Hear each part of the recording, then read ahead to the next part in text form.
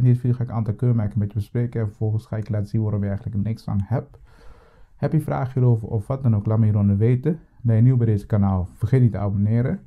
Zullen we maar eens beginnen.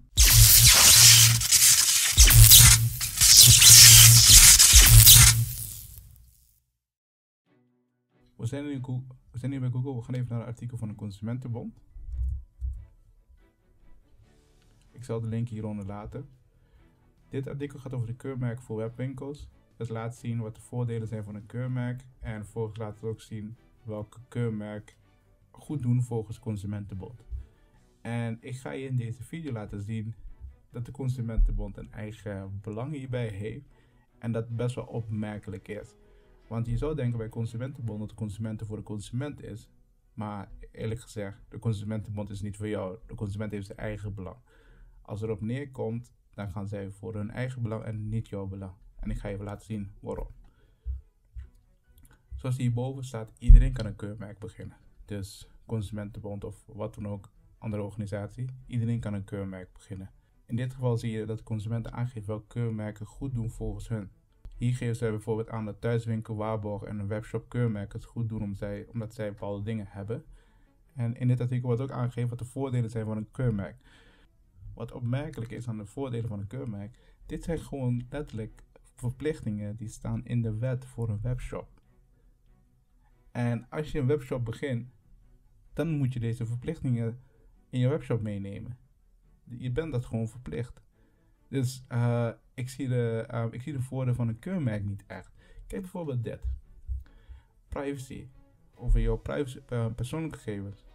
Als je gevoel hebt dat de webwinkel jouw privacygegevens gebruikt en je bent het niet mee eens, en je doet een verzoek in om jouw gegevens te verwijderen en dan doen ze dat niet, dan kan je altijd de klacht bij autoriteit persoonsgegevens. Dus bijvoorbeeld hier, we gaan even naar Google.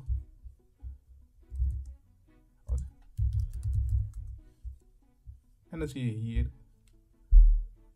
En dan zie je hier wat je gewoon wel kan doen als het gaat om privacy. Dus mijn vraag is, wat is de rol precies van een consumentenbon? Ander voorbeeld is duidelijkheid over de kosten. Maar volgens de wet ben je verplicht om duidelijkheid te geven over de kosten, hoeveel het kost. Want anders heb je niet echt een overeenkomst. Dus ik zie de voordelen van een keurmerk niet echt in. Kijk, iedereen kan een keurmerk beginnen. De vraag is, wat heb ik eigenlijk aan als consument zijnde? Als consument zijnde, als je een product gaat bestellen online, dan hoef je niet echt te letten op een keurmerk. Want die mensen zijn er niet voor jou. Die mensen hebben hun eigen belang. Kijk, als het erop neerkomt dat jij je geld terug wil, dan moet je zelf erachteraan gaan. Vaak kijken ze naar het belang van een webwinkel of en in jouw belang. En meestal zeggen ze, ze hebben geschillencommissie of wat dan ook. Waarom ga je gewoon niet naar de rechter? Je hebt al bepaalde organisaties die gewoon op basis van een QNOP gewoon op gaan procederen voor jou bij de rechter. Dus waarom ga je niet bij de rechter? Puur omdat de geschillencommissie goedkoper is? Volgens mij haal je veel meer bij een rechter dan bij een geschillencommissie geschillencommissie kan wat snel zijn of wat dan ook, heeft bepaalde voordelen. Maar uh, ik zie de nut er niet van in. En vaak is het zo, als iets misgaat, dan wil je gewoon snel je geld terug. Je wilt dan niet zoveel tijd eraan kwijt.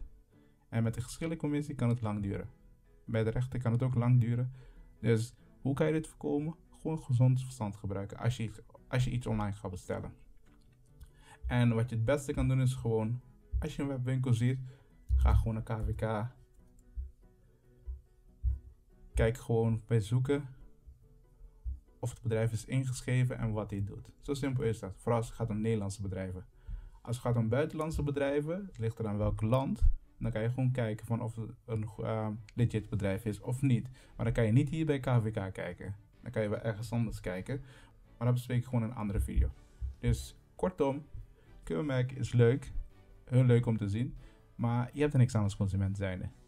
Kijk, als jij als consument ziet dat de webwinkel op bol.com bijvoorbeeld is, en je hebt goede vertrouwen bij bol.com, dan bestel je gewoon bij bol.com. Gewoon gebruik, gebruik gewoon je gezond verstand als je iets gaat bestellen. Zo simpel is dat. Keurmerk is heel leuk en aardig, maar die mensen hebben een eigen belang en iedereen kan een keurmerk beginnen. Wat leuk is, is bijvoorbeeld beslis.nl. Kijk, beslis.nl is heel leuk, maar op beslis.nl te komen, een webwinkel, dan moeten ze best wel veel geld betalen. Dus het is ook een manier om um, te adverteren via beslis.nl. En let op, beslis.nl heeft zijn eigen belang, niet jouw belang. Dus als je iets online gaat bestellen, kijk gewoon van, oké, heb ik dit nodig? Ja.